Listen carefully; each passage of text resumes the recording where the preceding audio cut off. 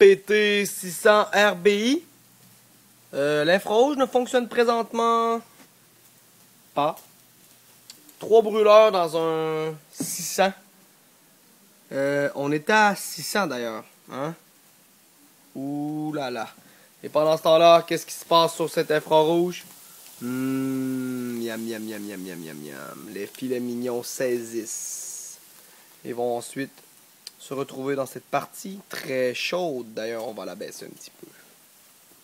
Bonne soirée. 600 degrés.